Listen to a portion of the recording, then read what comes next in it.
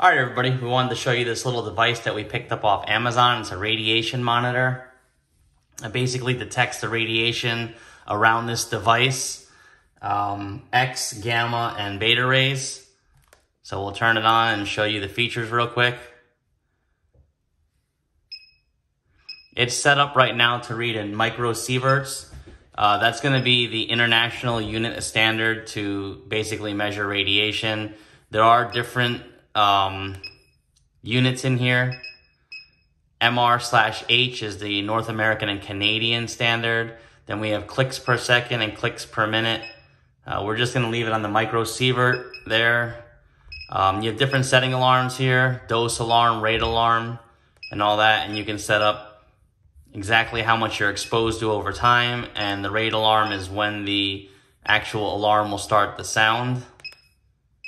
So we're not to mess with any of that. We'll just leave it. You got a system clock and an alarm mode, three beeps. So we'll go back here and set it so it vibrates as well, and then display settings. So basically looking at it, your ambient uh, surrounding is to be different everywhere, but ours is right around 0.14. We got this handy little card here. So really anything between 0. 0.03 and 0.33 is acceptable for normal background radiation, no action needed. Um, an easy way for you to tell if these things are working is to grab some smoke detectors. Now, we do not recommend doing this, and if you try this, you're doing it at your own risk. Inside most ionizing, or I'm sorry, inside all ionizing smoke detectors, you have a radioactive element called americium-241. Uh, that's giving off alpha particles. And basically, the quick science on it, it uses the battery to excite um, the gas in there. And then when smoke goes through it, it allows the electricity to flow through. And that's when you get your beep, beep, beep from the smoke detector.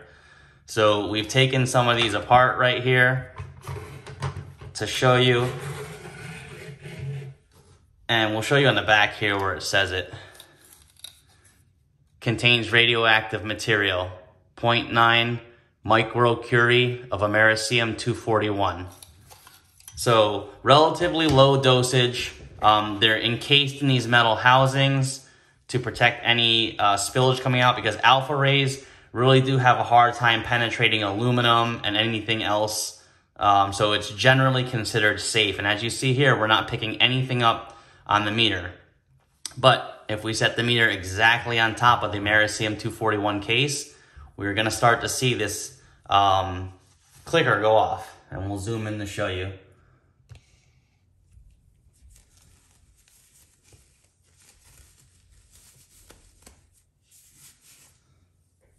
We'll get it situated here a little better.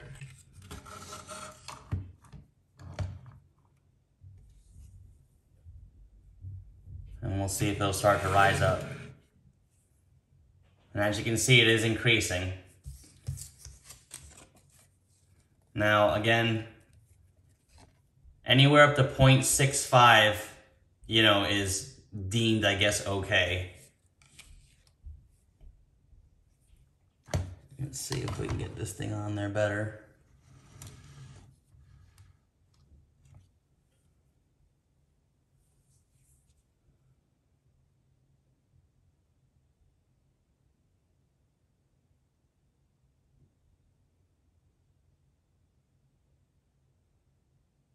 And it does take some time to detect because, again, this is not a very strong um, or very large amount of radiation. There you go. You see the alarm goes off at 0.50 sieverts or 0.50 microsieverts an hour.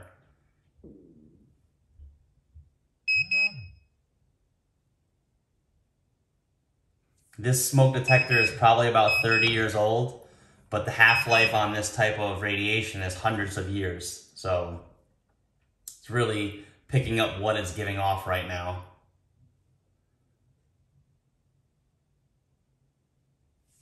And if you move it around, you can generally get better readings. It just really depends on how close to the probe it is in there.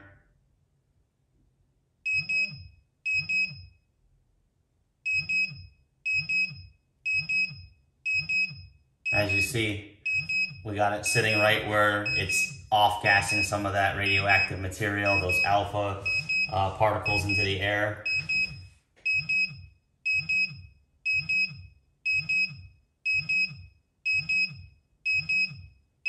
So at 0.65, if you look at our little card here, uh, that's where we're getting high levels. And we're right on top of the, the um, smoke detector. And see, it'll change because, again, radiation is gassing off and moving all around the air. So we'll pull it off this one. And we'll get it on this newer one here. And we'll set it right on there and check what the level is on this newer one. Try and get it set up.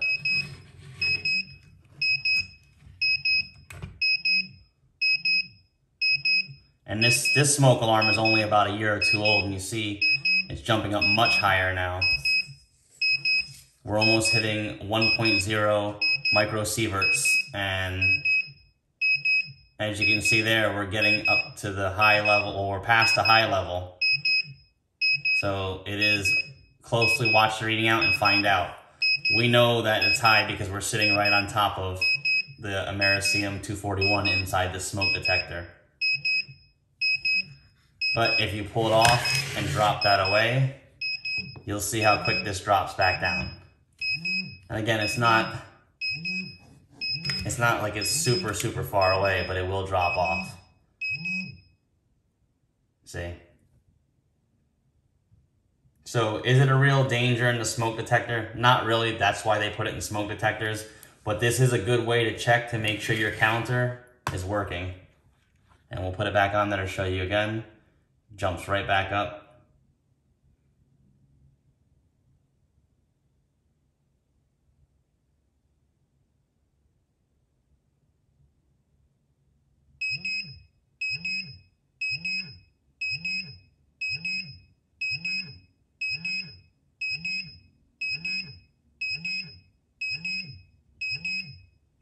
Oh wow, we're almost at two microsievert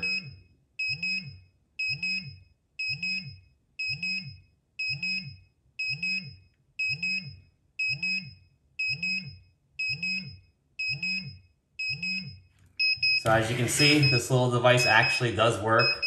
So it is a decent device. Um, looking in the background settings, that's just your dose ratings and all that. And you're gonna set that up according to however you wanna read this thing. Uh, we found that clicks per minute are the easiest to read, but not extremely accurate because there's such a wide range between. So really stay between this uh, MRH or the microsieverts per hour. Those are going to be your two most accurate readings to tell you what's going on. But yeah, good little device to have. Definitely comes in handy. So hope this helps.